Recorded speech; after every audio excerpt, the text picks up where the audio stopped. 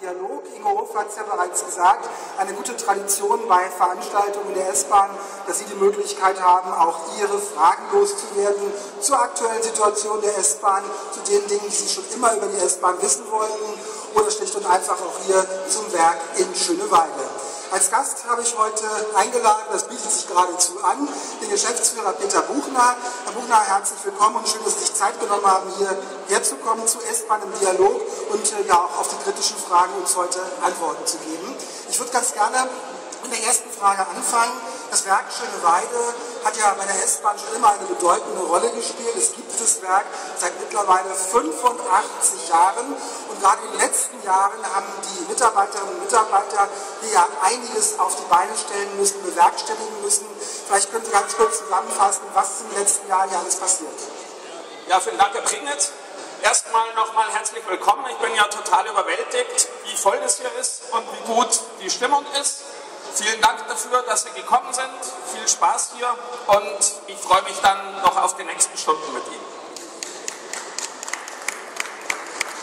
Hier in Schöneweide war die letzten Jahre so viel los wie schon lange nicht mehr. Neben ganz vielen Revisionen, so ein Eisenbahnfahrzeug muss ja alle acht Jahre einmal komplett auseinandergenommen und wieder zusammengebaut werden. Das waren im Schnitt im Jahr so 60 bis 80 Fahrzeuge. Wir hatten jetzt 100 Fahrzeuge pro Jahr, die wir durchbringen mussten.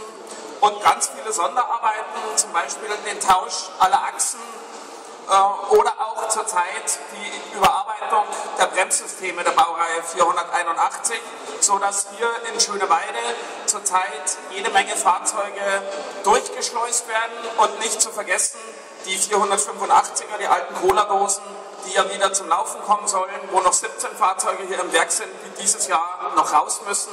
So einen schönen, neu lackierten sehen Sie links neben sich. Experten sagen ja, dass mit der Ausmusterung der Baureihen 480 und 485 2017, 2018 erneut nicht ausreichend Fahrzeuge für die S-Bahn zur Verfügung stehen werden. Meine Frage ist, ist das tatsächlich so? Und wenn es so ist, warum bestellen Sie denn nicht jetzt neue? Denn die Entwicklung dauert ja fünf, sechs Jahre. Ja, das ist wirklich ein Problem. Wir haben auch das neue Fahrzeug, die Anforderungen an das neue Fahrzeug definiert und würden das gerne ausschreiben. Aber erstmal ist es an der Politik zu entscheiden, wer denn hier ab 2017 fahren soll. Und wenn diese Entscheidung gefallen ist, hoffentlich zu unseren Gunsten, dann werden wir auch auf der Stelle bestellen. Aber man kann keine Fahrzeuge bestellen, wenn man gar nicht weiß, ob man fahren darf. Das heißt, jetzt ist der Senat am Zuge und muss zusehen, möglichst schnell mit der Ausschreibung durchzukommen. Genau so ist es. Die ist inzwischen auch veröffentlicht und da hoffen wir, dass die so zügig wie möglich zu einem Ergebnis kommt, dass dann wer auch immer, ich hoffe wir, die neuen Fahrzeuge bestellen kann. Ich gehe davon aus, ganz fest, dass die S-Bahn sich natürlich an dieser Ausschreibung beteiligen wird. Wie ist denn aus Ihrer Sicht die Chance, dass die S-Bahn diese Ausschreibung für sich entscheiden könnte? Also selbstverständlich werden wir uns an der Ausschreibung beteiligen. Wir sind da schon kräftig am Arbeiten. Aber das Wichtigste ist, dass wir unseren Betrieb in Ordnung bringen, dass wir die letzten 3% an Zugkilometer, besonders die S85, die letzten 3% an Zuglänge, vor allem noch die Tageszugruppe S75, die auf Vollzüge gebracht werden muss, in Ordnung bringen dass wir an der Pünktlichkeit arbeiten, weiter an der Sauberkeit, damit wir in Berlin gerne gelitten sind und der Wunschpartner sind. Daneben werden wir natürlich ein Angebot erarbeiten, wo wir uns hier nach der Decke strecken werden. Aber bei Ausschreibung weiß man natürlich bis zum Ende nie ganz sicher, ob man gewinnt, aber wir werden kämpfen. Die Fahrgäste hatten es ja in den letzten Jahren nicht immer ganz leicht mit ihrer S-Bahn, die Mitarbeiterinnen und Mitarbeiter aber auch nicht. Denn es war doch ein ganz schöner Stress, unter den Bedingungen einen vernünftigen S-Bahn-Betrieb äh, am Laufen zu halten. Alle mussten die Ärmel hochkrempeln und jetzt natürlich auch, denn es gilt eben zu zeigen, dass wir es tatsächlich gut können, auch weiterhin und das in allen Teilnetzen der S-Bahn. S-Bahn-Mitarbeiter werden natürlich auch gesucht. Nachwuchs braucht ein Unternehmen. Würden Sie denn sagen, die S-Bahn ist ein attraktiver Arbeitgeber? Auf jeden Fall. Die S-Bahn äh, bezahlt faire Löhne nach Tarifvertrag.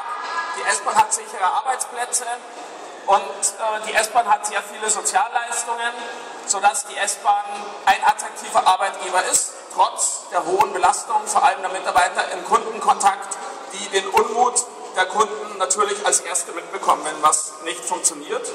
Und dass das auch so gesehen wird, sehen wir bei den vielen Anwärtern zum Triebfahrzeugführer, die wir jetzt eingestellt haben. Da haben wir hunderte von Bewerbungen bekommen, nur auf die Mundpropaganda hin, dass wir zusätzliche Kolleginnen und Kollegen brauchen. Und auch unsere Azubi-Plätze zu besetzen, ist nicht schwierig, es ist eher schwierig, zwischen den guten Bewerbern auszuwählen. Alleine heute haben sich 700 neue Lokführer schon gefunden, allerdings nicht wirklich zum Einsatz im Betrieb, sondern bei unserer Fotoaktion. Insgesamt 700 Besucher haben sich ablichten lassen, können ihr Foto nachher daheim im Internet sich dann angucken und natürlich auch an die Verwandtschaft, die Freunde weiterschicken. Wenn Sie und wenn ihr, liebe Kinder, das auch noch machen wollt, solltet ihr unbedingt nachher tun. Genau gegenüber von der Bühne steht ein Zug mit dem Wort Tag der offenen Tür im Fahrzielkasten und äh, da sollte man auf alle Fälle sich noch ablichten lassen lassen. Kostenlos übrigens das Ganze. Bestimmt eine richtig schöne Erinnerung.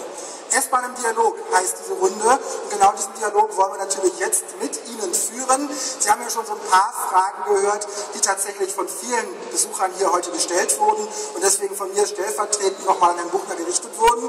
Aber sicherlich ist auch in Ihrem Kreis hier vor uns äh, die eine oder andere Frage, die Sie an Herrn Buchner, den Geschäftsführer der S-Bahn Berlin, loswerden möchten. Und deswegen wird jetzt äh, der Ingo Ruff, das ist der Kollege, der hier vorhin die Bühnenmoderation schon hatte und nachher haben wird, zu Ihnen rumkommen wenn Sie eine Frage haben und die können Sie dann gerne direkt an Herrn Buchner stellen. Und wer sich jetzt als Erster meldet, ist auch als Erster dran. Also Ihre Chance, mit Fragen direkt an Herrn Buchner loszulegen. Dann komme ich mal direkt zu Ihnen. Und, bitteschön. Stellen Sie sich kurz vor, ne? Ja, Gabi, mein Name.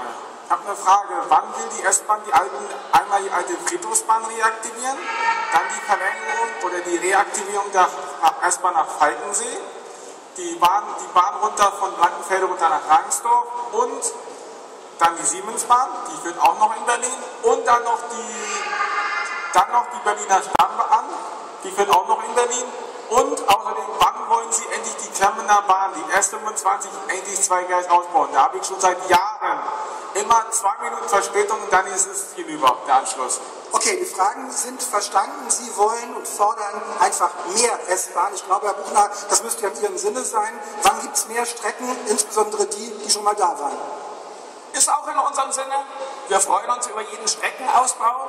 Streckenausbau ist Sache des Bundes zusammen mit den Ländern, die die Musik bestellen und dann natürlich auch bezahlen. Das, was ja schon im Bau ist und was kommen wird, ist die S21 die Linie vom Nordring zum Hauptbahnhof und dann wieder raus Richtung Gesundbrunnen und der zweigleisige Ausbau der Kremmener Bahn. Das sind die Themen, die ganz oben auf der Liste stehen und die auch am Laufen sind. Bei den anderen Themen äh, wird äh, periodisch geprüft, ob äh, die Projekte ähm, volkswirtschaftlich sinnvoll sind.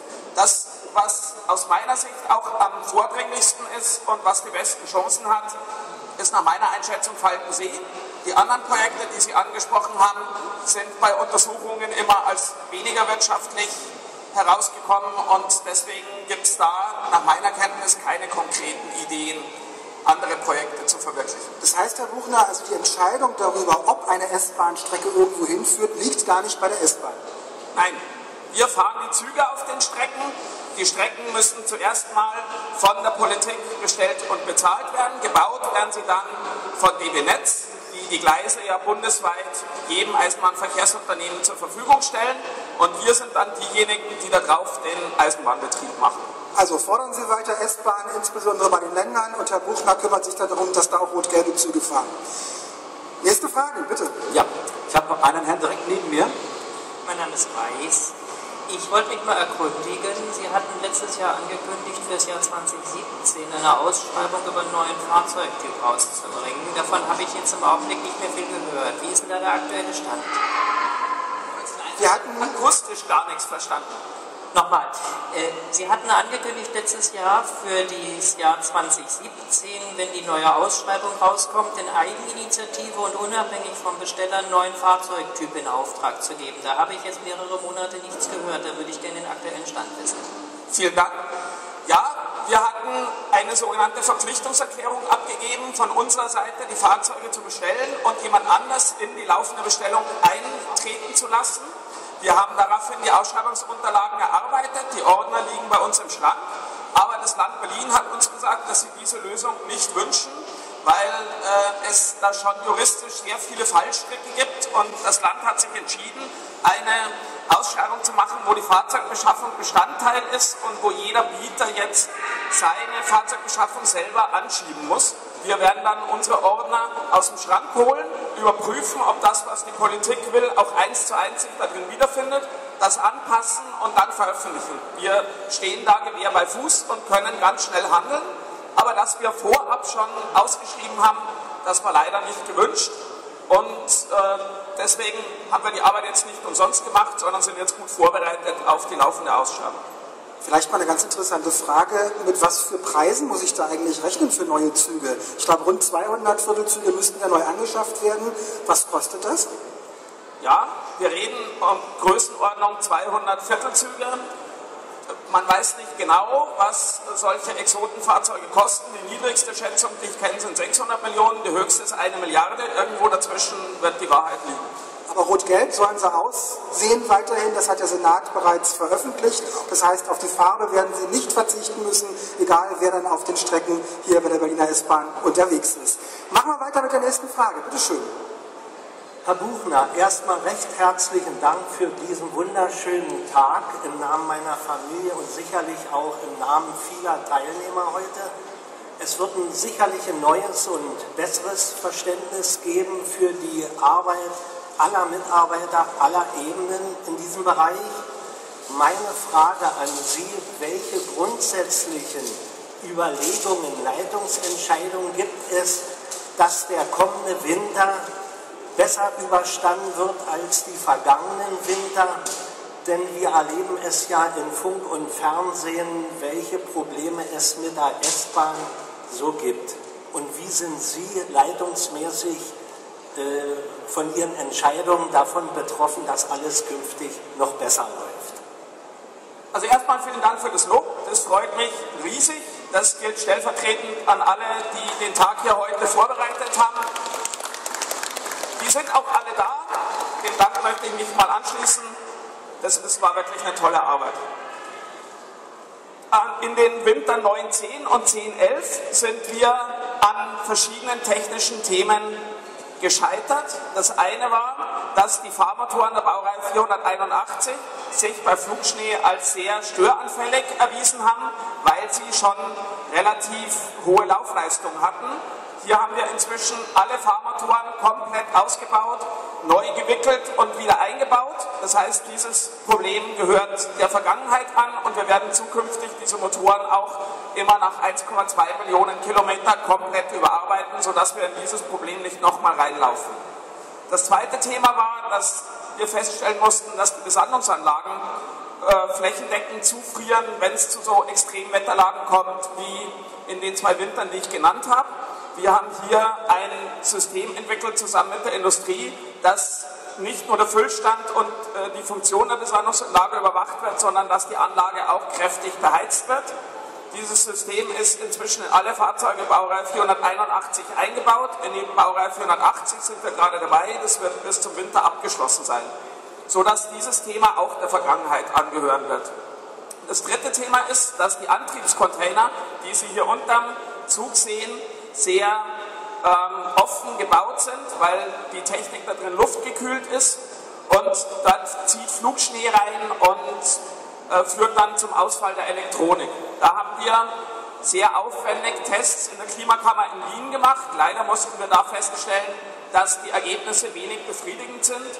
Wir haben hier im letzten Winter schon Filtermatten davor geklebt, um den Flugschneeeintrag zu reduzieren. Wie wirksam das ist, wissen wir nicht wirklich, denn im letzten Winter gab es ja keine solchen Wetterlagen, ich sage mal zum Glück, aber deswegen konnten wir auch nicht ausprobieren, wie wirksam das ist. Das heißt, da haben wir eine offene Flanke, von der wir aber glauben, dass sie beherrschbar ist, weil die zwei ganz großen Themen, an denen uns die Zügel wie die Fliegen gestorben sind, die haben wir inzwischen abgearbeitet und deswegen sind wir sicher, dass selbst bei extremen Wetterlagen wir noch das Thema mit dem Antriebscontainer haben, aber die anderen zwei nicht mehr. S-Bahn im Dialog mit S-Bahn-Geschäftsführer Peter Buchner und die nächste Frage bitte. Es gibt weitere Wortmeldungen. Ich bitte Sie, sich kurz vorzustellen.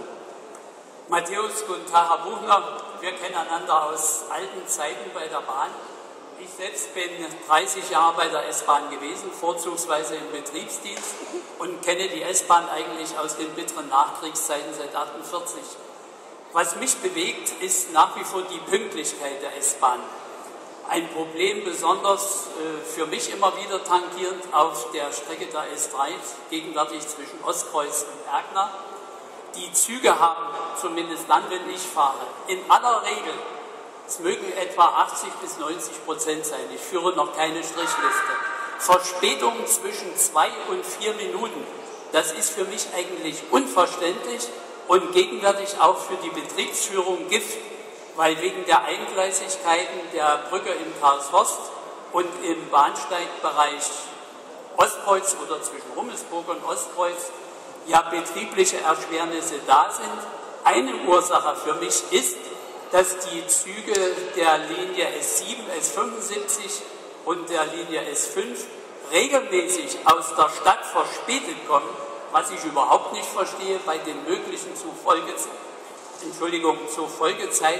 Und immer, natürlich steht die Aufsicht unten in Ostkreuz wegen der Anschlussbindung unter Zwang, verspätet abfahren. Es gibt weiterhin aus meiner Sicht Probleme im Wegfall der Aufsicht der Murmelsburg Betriebsbahnhof, weil bei der gegenwärtigen Fahrplankonstruktion fast gleichzeitig die Aufsicht in Karlshorst zwei Züge abzufertigen hat. Das kann sie einfach nicht. Und es führt auch dazu, dass bis hin zu den Ausgangsfahrplänen, die seit Ende April, Anfang Mai gültig sind, die letzten erst vor zwei Wochen in Köpenick aktuell geändert worden sind. Ich schlage Ihnen vor, einfach auch mal die betrieblichen Unterlagen auf der Strecke anzusehen, weil das viele Ursachen auch dafür sind, dass die Züge einfach nicht pünktlich fahren. Danke. Jetzt müssen Sie, genau, Herrn Buchner die Möglichkeit geben, natürlich auch zu antworten. Herr Buchner, pünktlich wie die Eisenbahn ist ja ein bekanntes Sprichwort. Gilt das nicht für die Berliner S-Bahn? Also, Herr Matthäus, Sie, äh, die S3 äh, haben wir uns gerade angeschaut, denn diese Verspätungen im Minutenbereich sind auf der S3 wirklich ein Problem wegen der Anschlussbindungen, die wir zum Beispiel zur Schönheit Frühlust auf der Straßenbahn haben. Sie haben die Hauptursache auch ganz richtig beschrieben. Es ist das Warten auf Anschlussreisende in Ostkreuz. Wir fahren sehr häufig im Minutenbereich verspätet in Ostkreuz ab es ist ja nicht nur der Anschluss aus der Stadt, sondern auch, wenn Ringzüge oben ankommen, es ist am Ostkreuz sehr viel Umsteigeverkehr und äh, die Aufsicht äh, kann im Zweifel einen Zug nicht abfertigen, wenn der Fahrgaststrom gerade von der Treppe runterkommt.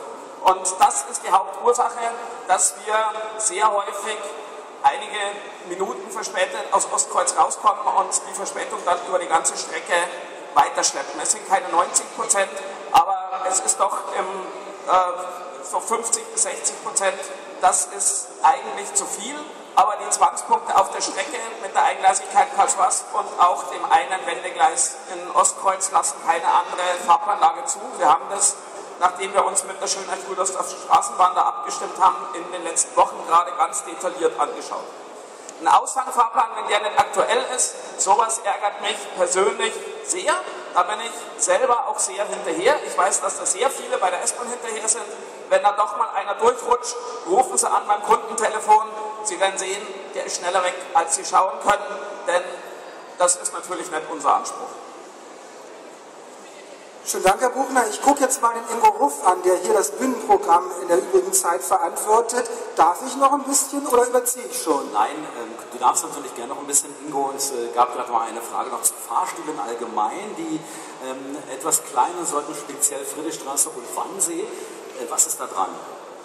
Ja, Herr Buchner, ich weiß nicht, ob Sie jetzt alle Aufzüge im Kopf haben und wissen, was mit denen jeweils los ist, aber ähm, das Problem ist, dass die nicht funktionieren oder Sie funktionieren wohl schon, sie sind zu klein von der Fläche her, oh. sodass auch äh, teilweise wohl behinderte Reisende dort äh, nicht hundertprozentig Platz finden.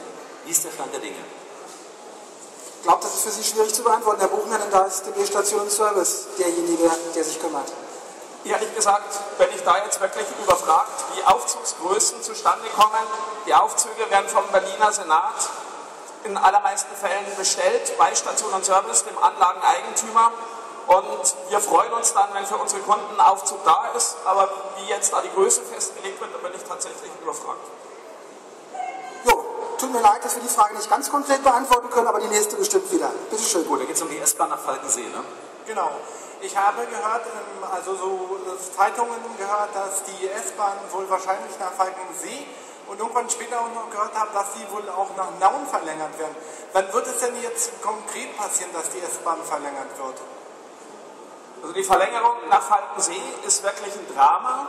Aus meiner Sicht leidet die daran, dass es ganz viele Interessengruppen gibt, die jeweils das Gegenteil von der anderen wollen. Die einen wollen ein zusätzliches Gleis für den Regionalverkehr nach Falkensee, die anderen wollen eine zweigleisige S-Bahn, die dritten wollen eine eingleisige S-Bahn. Das Haltekonzept in Spandau, Hackbuschstraße oder zwei Halter an anderer Stelle. Und das führt unter dem Strich dazu, dass es keinen Druck auf ein Projekt gibt. Und deswegen wartet der Bund, der das ja finanzieren müsste, ab, bis sich alle geeinigt haben. Die einigen sich aber nicht. Und deswegen ist in Falkensee zwar der Druck, theoretisch was zu tun, sehr groß, in der Praxis passiert da aber sehr wenig. Also meine Hoffnung ist, dass sich der Bezirk Spandau, dass sich die Stadt Falkensee zusammenraufen auf ein Projekt, sagen, das wollen wir haben, das ist hier Bürgerwunsch und dann das Land Brandenburg und das Land Berlin motivieren zu sagen, und das wollen wir jetzt haben, damit der Bund dann auch bezahlt. Ich war da gerade zu einer Veranstaltung in Spandau, wo das alles diskutiert worden ist. Da ging es sehr hoch her und da ist eben genau das passiert, dass jeder eine andere Idee hatte, was da fahren soll und so wird das garantiert nichts, denn da wird das Projekt dann kaputt geredet. Aber ich halte diese S-Bahn auch für absolut sinnvoll und fände es gut, wenn da baulich mal endlich was passieren würde. Ja, eine Frage, glaube ich, schaffen wir noch, ne? Ja, ich denke auch. Eine Dame hat sich ganz eifrig gemeldet. Ich bitte, bitte Sie auch sich kurz vorzustellen. Mein Name ist Dagmar Pifo. Ich habe eine Frage, warum könnte man nicht auf den Stationen mal eine Toilette anbringen? Vielleicht von der Firma Weil. Ganz konkrete und pragmatische Frage vor allem. Aber gar nicht so einfach, weil wir gar nicht äh, der Eigentümer der Stationen sind. So einfach ist es in vielen Fällen nicht. Warum es keine Kooperation zwischen Station und Service und Weil gibt, weiß ich nicht. Ich würde jetzt äh, Ihren Hinweis auch nochmal zum Anlass nehmen, weil mich die Frage selber äh, interessiert, da nochmal nachzufragen. Gut, herzlichen Dank. Das war S-Bahn im Dialog hier oben auf der Bühne. Sie können natürlich weiterhin den S-Bahn im, die S-Bahn im Dialog suchen. Wir haben Herrn Buchner weiterhin in der Werkhalle, der ist noch eine ganze Weile hier. Wir haben außerdem auch noch unsere Geschäftsführer Jürgen Konz, Christoph Wachendorf und Christian Kaiser hier. Die sind hier irgendwo zwischen Ihnen. Also einfach mal auf da links steht mein Kollege für Betrieb, der Jürgen Konz und der Kollege für Personal. Vielleicht können Sie mal winken, dass man sie sieht. Da, die beiden und hier ist noch der Finanzkollege, der Christian Kaiser. Also für jede Frage der richtige Ansprechpartner. Wir freuen uns, im Gespräch zu bleiben mit Ihnen. Nochmal herzlichen Dank, dass Sie hergekommen sind. Die gute Stimmung ist Ihre Stimmung. Behalten Sie die bei und löchern Sie uns mit Fragen. Und damit übergeben wir dann wieder, ja, klatschen Sie ruhig, das tut uns auch gut. Damit übergeben wir jetzt wieder an Ingo Ruff für das weitere Programm. Und ich möchte Ihnen mal einen Hinweis geben. Wenn der Ingo Ruff hier wieder spricht, achten Sie mal genau auf die Stimme. Machen Sie die Augen zu und hören Sie nur seine Stimme und überlegen Sie mal, wie oft Sie diese Stimme in Berlin jeden Tag hören. Mehr würde ich nicht sagen. Viel Spaß mit Ingo Ruff. Vielen Dank an Peter Buchner, vielen Dank an Ingo Prignitz.